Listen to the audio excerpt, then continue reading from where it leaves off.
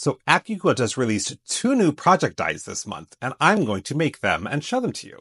Up first is the towel topper. So for the main fabric, I'll be using this fun green that has like shallots and radishes and onions on it. And then this will be my accent. For the towel topper, I have already just pre-quilted my fabric. And then this project die is a little bit different than most of their project dies. So there's actually a solid line right here, and you're going to fold your fabric in half and line it up with that line. They did that so that it would fit on a 6 by 12 inch die board, it's going to fit through all of their Go cutters, and it's a little more economical that way. It also has printed instructions right on the die board, which I think is pretty cool. And even though it fits through any of the cutters, I will be using my Go Big today along with my Go Big die catcher because it's already out on my table. Fold that in half, line it up with that line, and I'm going to cut these individually. Because this has the batting on it, it's a little bit thicker, so I will cut this and the backing fabric separate so it's more accurate.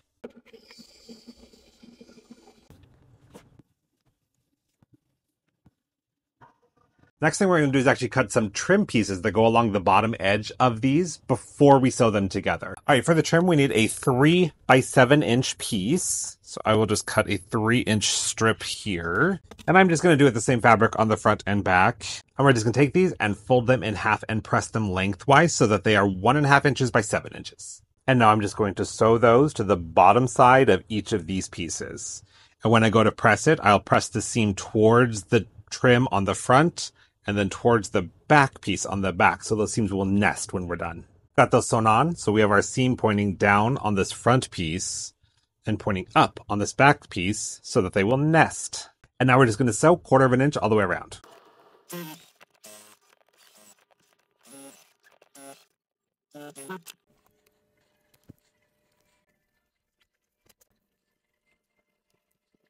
All right, that's all sewn together, turned right side out and pressed. And now we just need to insert our towel. So we want this whole width to fit in here. And there's lots of ways you can do that.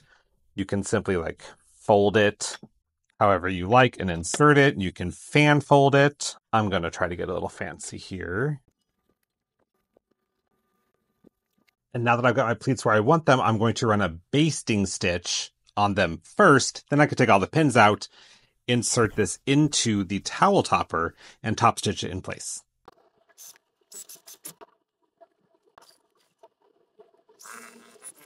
Last thing we need to do is add our closure and we're going to keep it real simple and just do a quick snap.